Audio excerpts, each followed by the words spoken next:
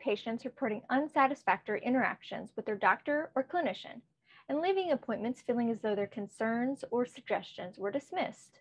Patients have expressed a desire for materials that they can easily share with their doctor around the topic of recurrent and chronic UTI. If you've experienced this or you wish to share information about UTI with your doctor, you're in the right place. We've developed materials that you can easily share with your healthcare team to help guide discussion around UTI and lower urinary tract symptoms. Part of my role as the patient involvement advisor with Live UTI Free is to utilize the information gathered around UTI patient research to develop resources that may help bridge some of the communication gaps that occur between patient and clinician. With the launch of our clinician education resource, improving treatment pathways for patients with persistent lower urinary tract symptoms, and the accompanying patient guide, we're taking steps to improve conversations between patient and clinician around the topic of difficult to diagnose UTIs.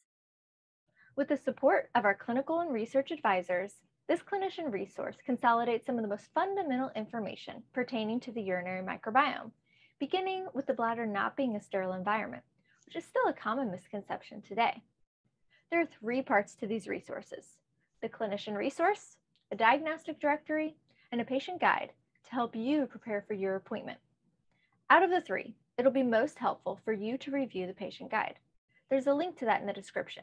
While it's not necessary for you to review in detail the educational resource intended for your doctor, it can be helpful for you to have an idea of the topics covered so you know what you're requesting your clinician review. Some of the information gets pretty in depth, so I'm going to take you through the topics so you can have an understanding of what your clinician will receive should you choose to share this resource with them, and we hope you will.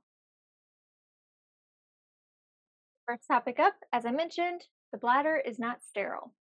In 2013, researchers concluded that urine contains communities of living bacteria. This was one of the earlier studies that was able to definitively change a long held belief that the bladder is sterile. We've only known this information for a little over a decade, so it's easy to see why medicine can be a bit behind when it comes to accurately diagnosing urinary tract infections. Taking this information a step further, researchers were also able to determine that although both symptomatic and asymptomatic people have bacteria present in their bladder and urinary tract, people with urinary symptoms typically have a more diverse urinary microbiome, or urobiome for short. So, if we all have bacteria naturally present in our bladders, then how can we have negative cultures or dipsticks? Standard urine cultures, or appropriately, SUC, or SUC for short, were never intended to detect UTIs. They were actually developed to monitor the risk of kidney infections, and they have a bias toward E. coli and other gram negative organisms. When compared to more sensitive testing methods, which we'll get into in a bit, SUC has been shown to be up to 90% inaccurate. This can result in what is considered a culture negative UTI. SUC has a high threshold, meaning that a large amount of bacteria needs to be grown from the tiny amount of urine tested in order for results to be positive. And when multiple organisms are detected, which could be an indication of an infection, SUC typically reports those possible infections as contamination or mixed growth. An additional limitation of SUC is its inability to detect organisms hiding within biofilm. Biofilm is a sticky coating that can protect bacteria. We have a whole section dedicated to biofilm later in the resource, but for urine culture purposes, when biofilm manage to break away from the bladder wall and end up in a urine sample, SUC is unable to shake loose the organisms contained inside. This means that those organisms within the biofilm may be completely missed by SUC, even though they could be contributing to symptoms. If you're thinking urine dipsticks that provide on the spot results in your doctor's office or at home are any more precise, Unfortunately, they're not. With poor detection capabilities, dipsticks are also unreliable. While both SUC and dipsticks may be used to diagnose an infection, they cannot be relied upon to rule out an infection. This slides us right into the next section, which is overcoming the limitations of SUC.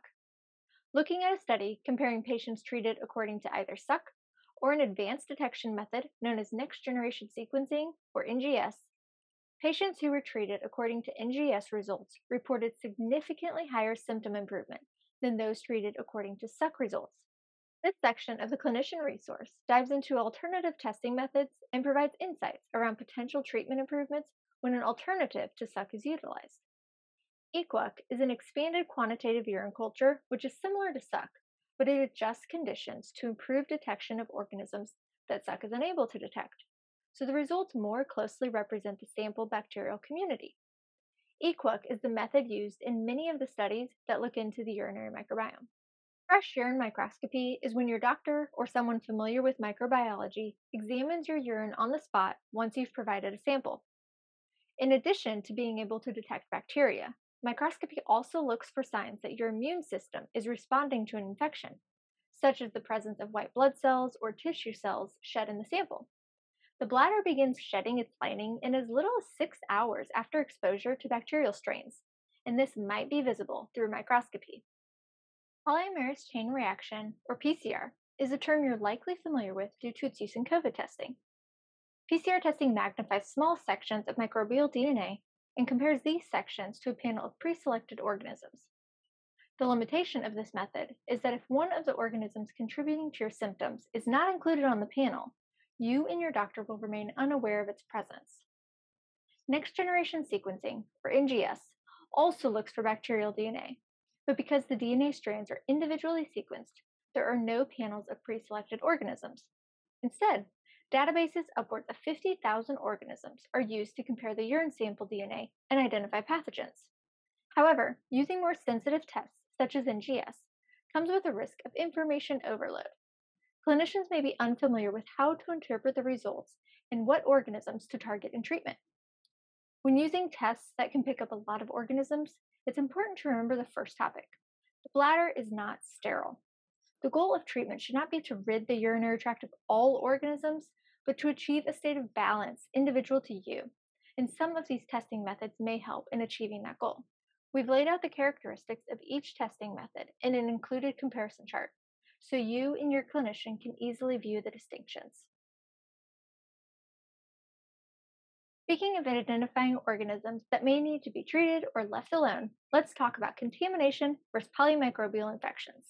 In a study using EQUC, that's the more sensitive culture method, in 81% of the samples in which E. coli was detected, at least one additional pathogen was also found. This suggests that UTI is often believed to be caused by one dominant pathogen may in fact be due to multiple organisms. What about when you receive a SUC report labeled mixed growth or contamination? These results do not necessarily indicate contamination, but they could be identifying infections with multiple pathogens that the lab is failing to report. When the limitations of standard urine culture are removed, the opportunity for more informed decision making between you and your doctor arises. In addition to more accurately identifying organisms within the urobiome, more sensitive testing methods can also play an important role in detecting possible resistance behaviors. But before we get into the various antibiotic susceptibility testing methods, we need to touch on something called horizontal gene transfer. This can result in the antibiotic resistance traits of one organism being shared with another. In essence, an organism on its own may not be resistant to a particular antibiotic, but once in the presence of another organism, it may develop resistance characteristics. The most common type of antibiotic resistance and susceptibility testing is that which is typically completed alongside SUC. With traditional antibiotic susceptibility testing, or AST, individual pathogens are tested against an antibiotic. As we now know, organisms impact and interact with one another, especially when it comes to resistance.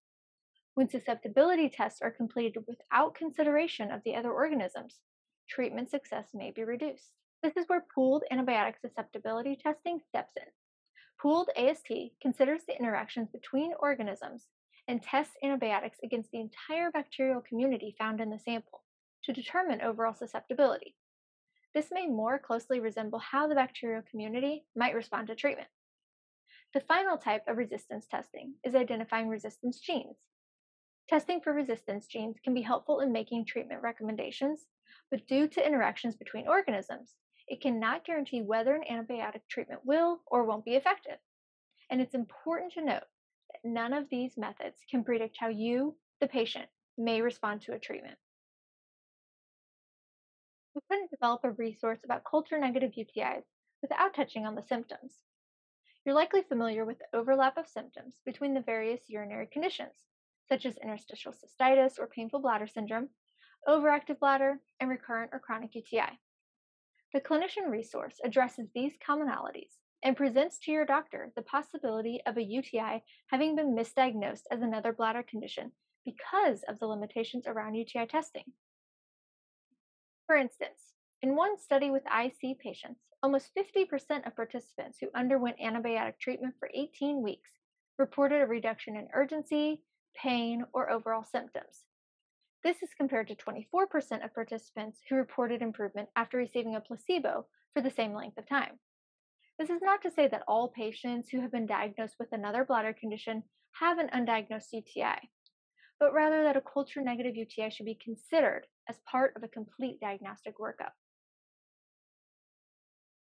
I mentioned biofilm earlier when discussing SUC's inability to detect organisms within epithelial cells or encased within biofilm. Biofilm is a protective coating, a slime, really, that surrounds bacterial communities and sticks to and inside surfaces.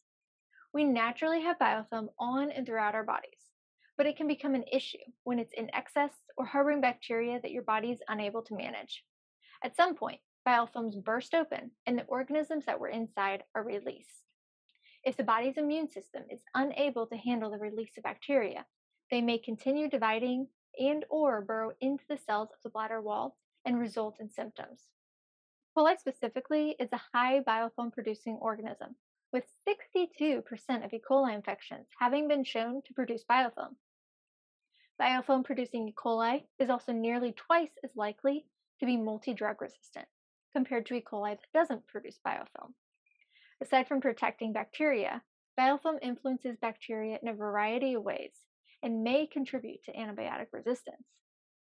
Having similar qualities to biofilm, Intracellular bacterial communities are communities of bacteria that burrow into the walls of the bladder.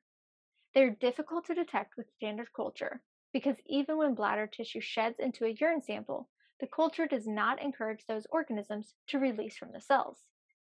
As many as 100,000 colony forming units can exist inside one cell.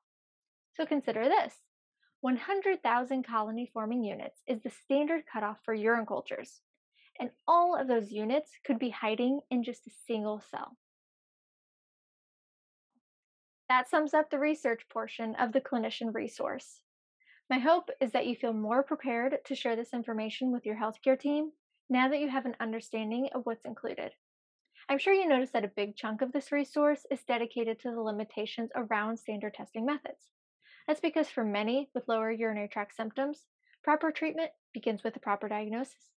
At the end of this resource, we've included a list of US and UK diagnostic laboratories that utilize more sensitive testing methods, such as EQUC and molecular tests. Each company is supportive of the work we do at Live UTI Free and has shown a commitment to improving patient outcomes.